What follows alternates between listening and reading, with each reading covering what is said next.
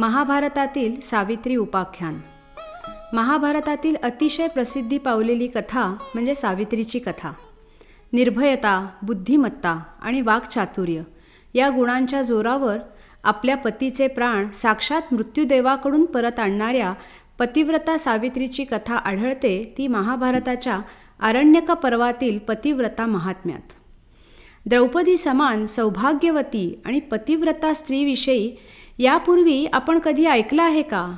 असा प्रश्न युधिष्ठिरानं मार्कंडेय मुनींना विचारला असता त्याच्या या प्रश्नाला उत्तर म्हणून मार्कंडेयांनी कथा सांगितली ती सावित्रीची.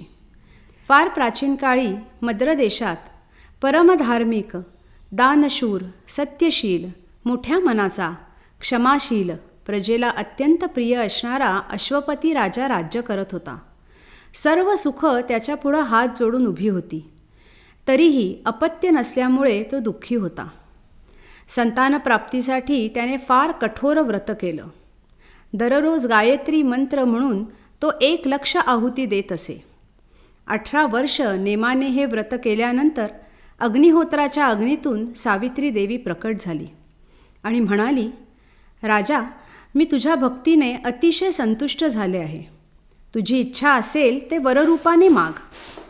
अतिशय आनंदित झालेला अश्वपती राजा म्हणाला देवी संतती प्राप्तीच्या इच्छेने मी हे अनुष्ठान केलं होतं. मला वंशवृद्धी करणारे पुत्र दे. कारण पुत्रप्राप्ती हाच परमधर्म आहे असं धर्मात सांगितलं आहे. सावित्री देवी म्हणाली तुझी इच्छा जाणून तुला पुत्रप्राप्ती व्हावी म्हणून मी ब्रह्मदेवाकडे निवेदन केलं होतं. ब्रह्मदेवाच्या कृपेनं तुला लवकरच एक तेजस्वी कन्यारत्न प्राप्त होईल. याविषयी अधिक काही विचारू नकोस प्रतिप्रश्नही करू नकोस. अश्वपतीनं हा वर मान्य करून सावित्री देवीच्या आज्ञेचं पालन करण्याची प्रतिज्ञा केली. सावित्री देवी अंतर्धान पावली. राजा अश्वपती आपल्या नगरीत परतला आणि नेहमीप्रमाणे राज्याचं पालन करू लागला. मालव देशाची राजकन्या राजाची पत्नी होती. सावित्री देवीच्या वरानुसार तिच्या ठाई गर्भधारणा झाली. आणि योग्य वेळी महाराणीनं अतिशय सुंदर कन्येला जन्म दिला. राजा अश्वपती आनंदून गेला. गायत्री मंत्राची उपासना करून सावित्री देवी प्रसन्न झाली होती म्हणून अश्वपतीने आपल्या तेजस्वी कन्येचं नाव सावित्री असं ठेवलं. चंद्रकलेप्रमाणे वृद्धिंगत होणाऱ्या सावित्रीने तारुण्यात पदार्पण केलं. सावित्रीचं सौंदर्य असं की ती म्हणजे साक्षात लक्ष्मीच.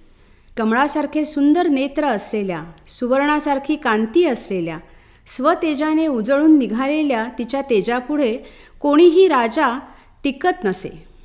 अशा रीतीने निष्प्रभ ठरल्यामुळे कोणीही तिला वरू शकला नाही. यौवनात पदार्पण केलेली आपली कन्या सौंदर्यवती गुणवती असूनही तिच्यासाठी कोणत्याही राजाचा विवाह प्रस्ताव येत नाही हे पाहून अश्वपती अतिशय दुःखी झाला. तो सावित्रीला म्हणाला विवाहयोग्य वयाची असूनही तुझ्यासाठी कोणाचाही विवाह प्रस्ताव आलेला नाही. तू स्वतःच तुझ्यासारखा गुणी अनुरूप वर शोध. पती म्हणून ज्याला वरण्याची तुझी इच्छा असेल त्याचा परिचय मला दे. मी विचार करून त्याच्याशी तुझा विवाह करून देईन.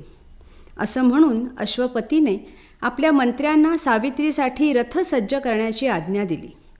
वडिलांना नमस्कार करून त्यांची आज्ञा शिरसावंद्य मानून राजकुमारी सावित्री विविध देशात फिरली. एकदा नारद मुनी अश्वपती राजाकडे आले होते. राजा त्यांच्याशी बोलत असताना सावित्री परत आली. तिने नारद मुनींना आणि वडिलांना नमस्कार केला. सावित्री कुठे गेली होती असे नारदांनी विचारले असता अश्वपतीने तिला यात्रेला पाठवण्याचं कारण सांगितलं. राजाने सावित्रीला यात्रेचा वृत्तांत सविस्तर सांगायला सांगितलं आणि ज्याला वरला आहे त्याचं नावही सांगायला सांगितलं. सावित्रीने वृत्तांत सांगायला सुरुवात केली. ती म्हणाली शाल्व देशात द्युमत्सेन नावाचा क्षत्रिय राजा राज्य करत होता. त्याची दृष्टी गेली. त्यावेळी त्याचा मुलगा वयाने लहान होता.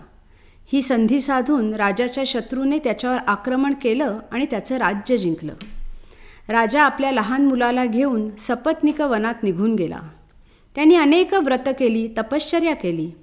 अशा धर्मज्ञ राजाचा एकुलता एक मुलगा सत्यवान याला मी मनानं वरलं आहे. तोच माझा पती होण्यास योग्य आहे.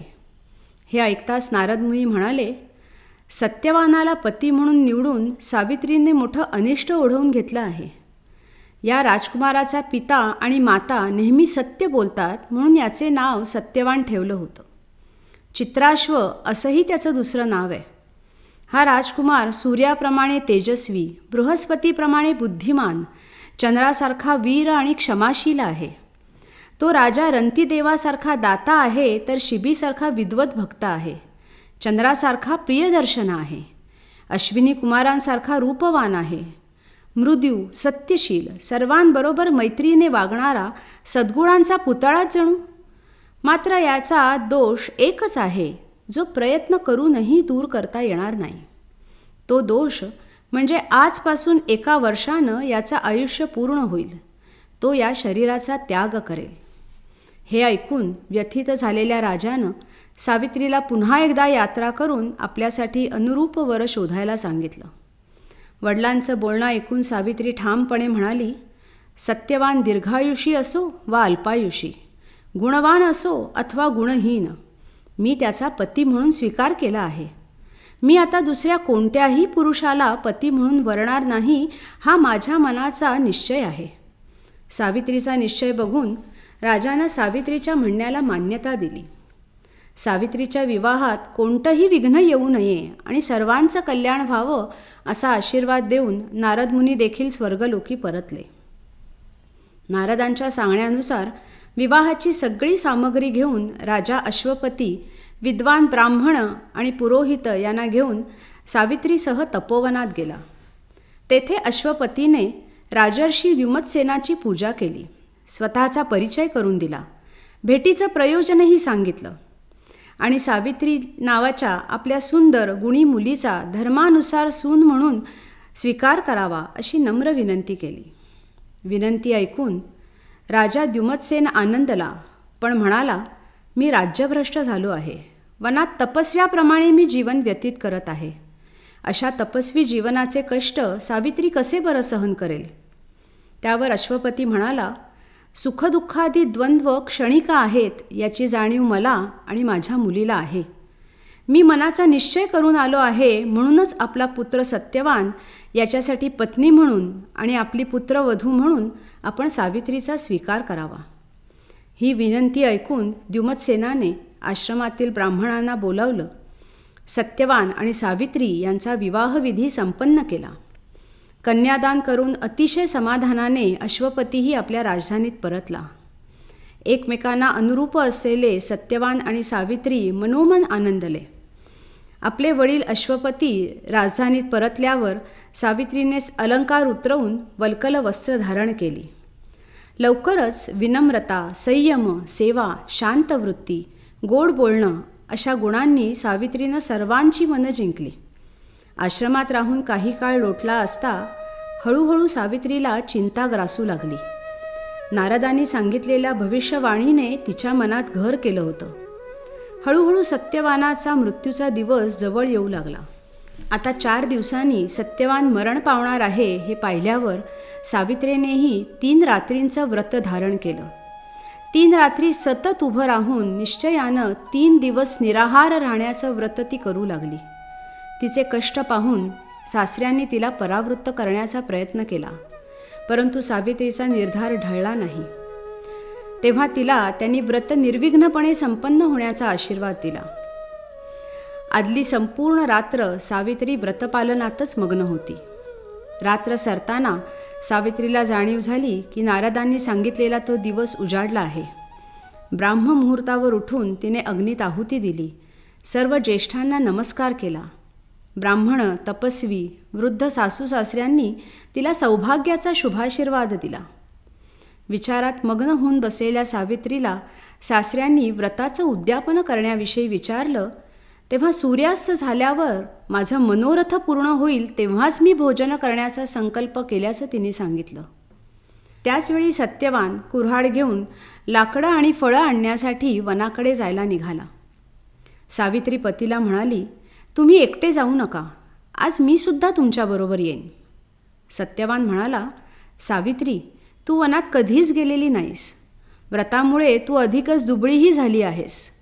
तू पायी कशी चालशील? त्यावर सावित्रींनी सांगितलं वनात जाण्यासाठी मी उत्साही आहे. मला अजिबात थकवा आलेला नाही. अखेर तिचा निर्धार पाहून सत्यवानानं तिला सासू सासऱ्यांची अनुज्ञा घेण्यास सांगितलं. सून म्हणून आल्यापासनं सावित्रीनं आजवर कोणतीही गोष्ट मागितली नव्हती म्हणून वनात जाण्याची तिची इच्छा सासू सासऱ्यांनी मान्य केली. त्यांना नमस्कार करून सावित्री सत्यवानासह वनात जायला निघाली. वनात जात असताना सत्यवान सावित्रीला फुलांनी बहरलेले वृक्ष पवित्र जलाने वाहणाऱ्या नद्या मोरांचे सुंदर कळप दाखवत होता. मुखावर हास्य विलत असताना सावित्रीचं मन मात्र दुःखाने व्याकुळ होतं. एकीकडे ती वनाची शोभा पाहत होती मात्र तिचं लक्ष पतीच्या हालचालींवर होतं. क्षणाक्षणाला तिला नारदांच्या वचनाची आठवण होत होती प्रत्येक क्षण जणू मृत्यू समान वाटत होता.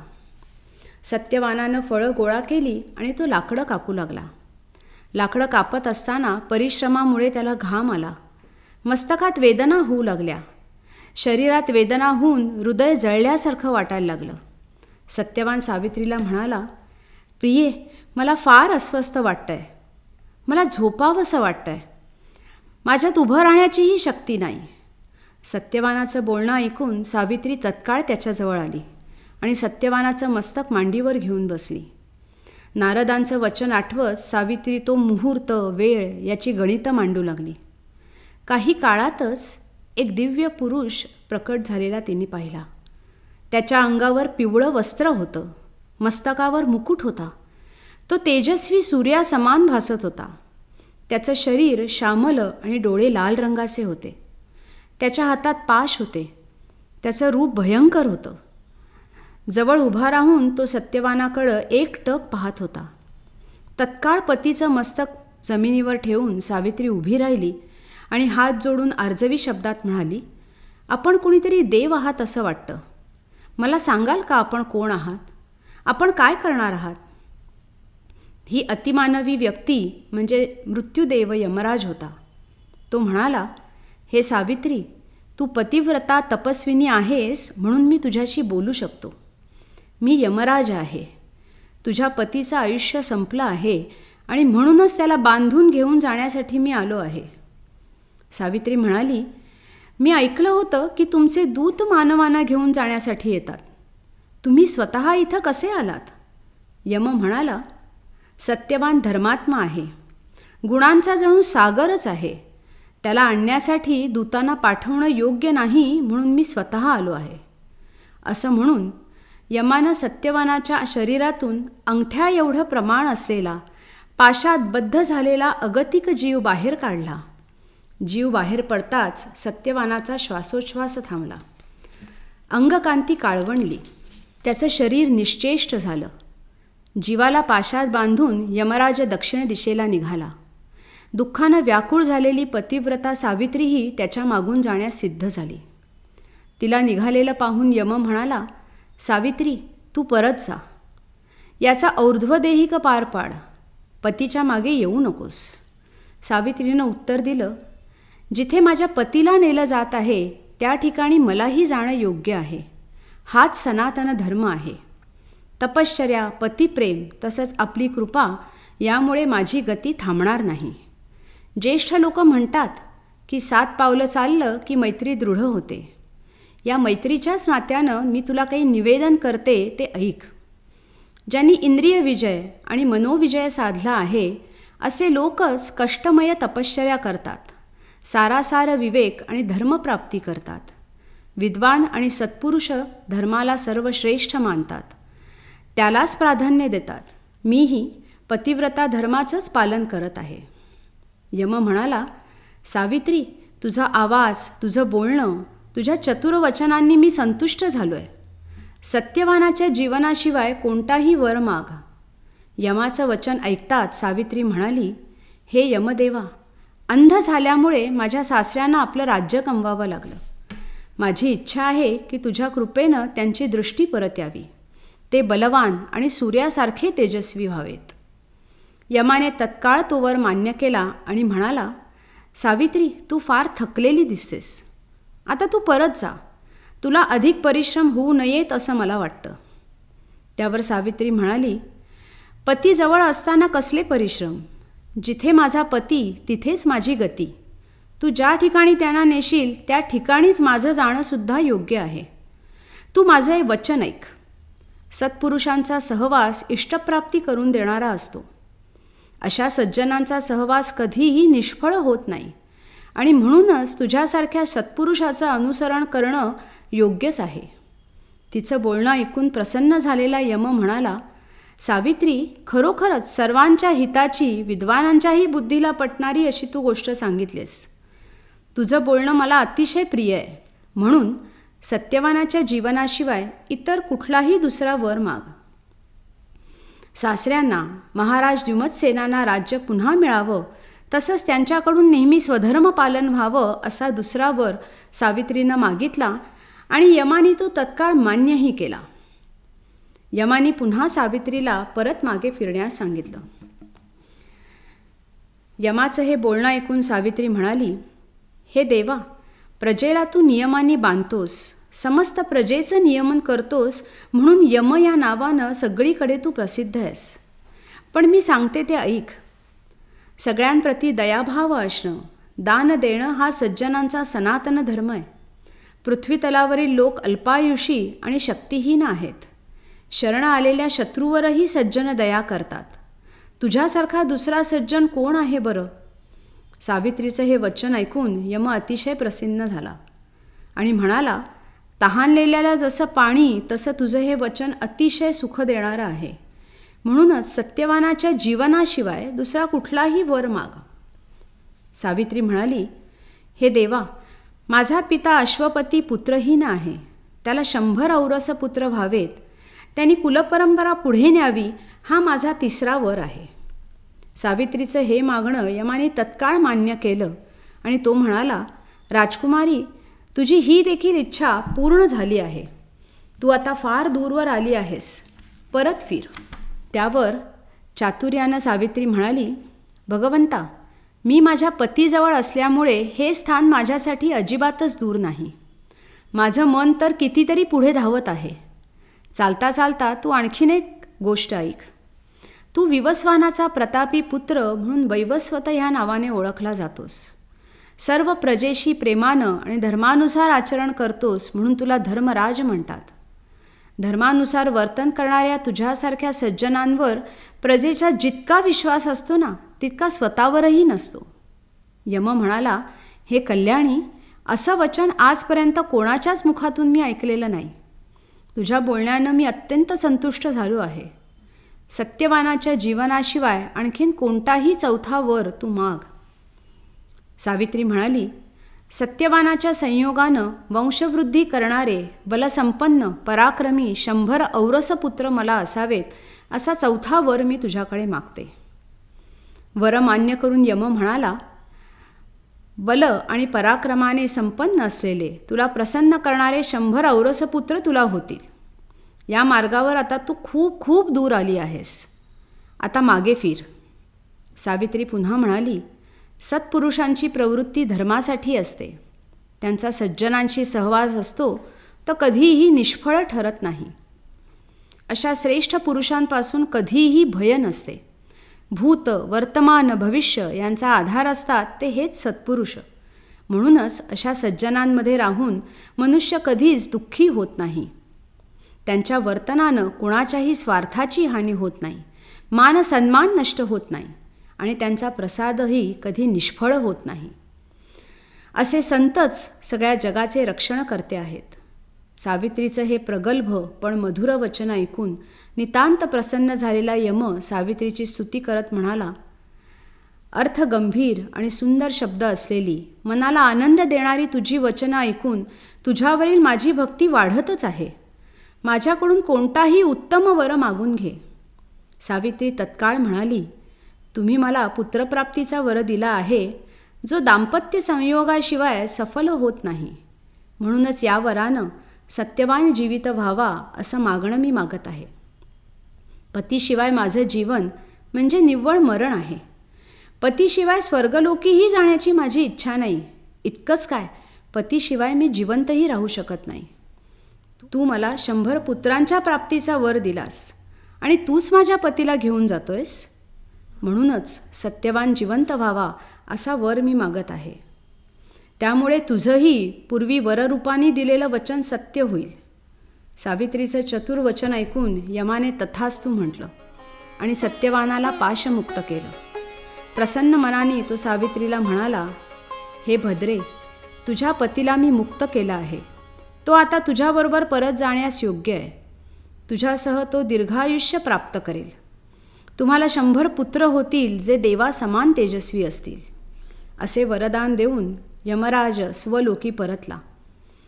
यमराज निघून गेल्यानंतर ज्या ठिकाणी सत्यवानाचा मृतदेह होता तिथे सावित्री परत आली. सत्यवानाला पुन्हा चैतन्य प्राप्त झालं. तिने सत्यवानाला उठवलं. पुन्हा चैतन्य प्राप्त झालेला सत्यवान दूर देशातून परत आल्याप्रमाणे सावित्रीकडे प्रेमानं पाहत होता. तो म्हणाला मी दीर्घकाळ झोपून राहिलो होतो. तुम्हाला जागं का नाही केलंस? त्यावर सावित्री म्हणाली तुम्हाला नेण्यासाठी साक्षात यम आला होता. तो आता परत गेला आहे. तर तुम्ही आता उठा. रात्र झाली आहे शुद्धीवर आलेल्या सत्यवानाला आता सगळं स्मरत होतं. तो सावित्रीला म्हणाला तुझ्या मांडीवर डोकं ठेवून झोपल्यावर मला झोप लागली आणि एका महातेजस्वी पुरुषाचं दर्शन झालं. तुला माहीत असेल हे सर्व काय होतं स्वप्न की सत्य तर मला सांग. त्यावर सावित्री म्हणाली तुम्ही आता उठा आपण लवकर परत निघू. उद्या मी सर्व गोष्टी जशाच्या तशा तुम्हाला सांगेन. परंतु पुन्हा आजूबाजूचा घनदाट अंधकार बघून ती सत्यवानाला म्हणाली या भयंकर अंधकारात आपल्याला योग्य मार्ग मिळणार नाही. आपली अनुमती असेल तर आपण येथेच वास्तव्य करू आणि सकाळी आश्रमात परतू. परंतु आपण घरी परतलो नाही तर वृद्ध मातापिता व्याकुळ होतील. दुःखानं कदाचित जिवंतही राहणार नाहीत. आणि आईवडील जिवंत राहिले नाहीत तर आपणही जिवंत राहू शकणार नाही असं सत्यवानाने सांगितल्यामुळे सावित्री उठली आणि घराच्या दिशेने ती दोघं निघाली. इकडे आश्रमात राजा द्युमतसेनाला यमाच्या वराने दृष्टी प्राप्त झाली होती. तो सर्व काही स्वच्छ पाहू शकत होता. परंतु पुत्र अजून परतला नाही हे पाहून सत्यवानाच्या मात्या पित्याला अतिशय दुःख झाले. विविध आश्रमात नदीच्या तीरावर ते सत्यवानाचा शोध घेत राहिले. ब्राह्मण ऋषींनी द्युमतसेन राजाला विविध कथा ऐकवल्या आश्वस्त केलं सांत्वन केलं तरीसुद्धा त्याचं मन शांत होईना. तो विलाप करू लागला. त्यावर सुवरच्या ऋषी म्हणाले सत्यवानाची पत्नी सावित्री तपश्चर्या करणारी सदाचरणी आहे. तिच्या गुणांमुळे आणि पुण्यामुळे सत्यवान जिवंत आहे हे निश्चित. इतरही ऋषी म्हणाले सावित्री शुभलक्षणी आहे. तिचा पतीही तिच्याप्रमाणेच सद्गुणसंपन्न जनप्रिय आहे. सुलक्षणाने युक्त आहे. त्यामुळे तो निश्चितच जिवंत आहे. त्या सर्वांनी द्युमतसेनाला पूर्ण आश्वस्त केलं. त्या सर्वांचा आदर करून द्युमतसेनही स्थिर झाला आणि काही वेळातच सावित्री सत्यवानासह अतिशय आनंदानं आश्रमात परतली.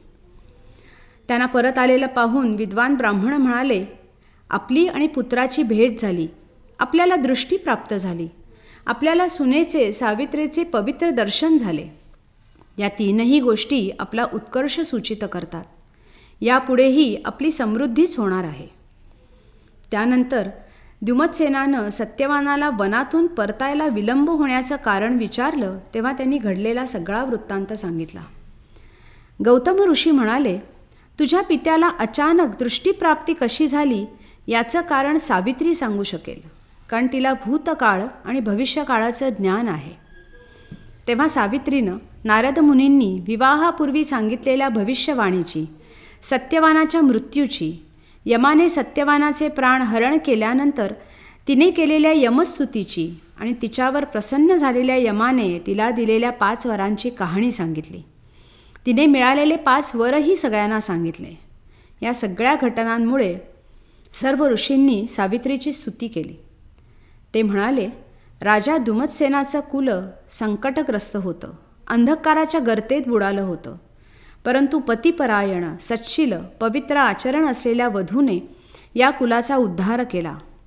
सर्वांनी सावित्रीची प्रशंसा आणि सत्कार केला. त्यांची वाणी सावित्रीची प्रशंसा करून थकत नव्हती आणि राजाचे कान ती स्तुती ऐकूनही तृप्त होत नव्हते. तेव्हाच शाल्व देशातनं सर्व प्रजा येऊन द्युमतसेनाला म्हणाली आपला शत्रू मारला गेला आहे. शत्रूची सर्व सेना पळून गेली आहे. राजा म्हणून आमचा आपल्यावरच विश्वास आहे. त्यामुळे तुम्हीच आमचे राजे व्हा. आम्ही आपल्याला नेण्यासाठी आलो आहोत. चतुरंग सेनाही आपल्या सेवेत आहे. तुम्ही आपल्या राज्यात परत यावं. नगरात आपला विजय घोषित करण्यात आला आहे. राजाला दृष्टी प्राप्त झालेली पाहून आलेले सर्व प्रजाजन विस्मयचकित झाले. सर्वांनी राजाला नमस्कार केला. राजाने आश्रमातील ब्राह्मणांना अभिवादन केलं. त्यांची पूजा केली. आणि तो राजधानीकडे परतला. परतल्यावर पुरोहितांनी राजाला राज्याभिषेक केला. सत्यवानाला युवराज पदावर अभिषेक केला. यमाने दिलेल्या वरानुसार सावित्रीला शूरवीर पुत्र झाले. तर तिच्या पित्याला अश्वपतीलाही शंभर पुत्रांची प्राप्ती झाली. अशा रीतीने सावित्रीने आपल्या स्वतःच्या मात्यापित्यांना सासू सासऱ्यांना तसेच पतीला आणि समस्त कुळाला फार मोठ्या संकटातून वाचवलं. Música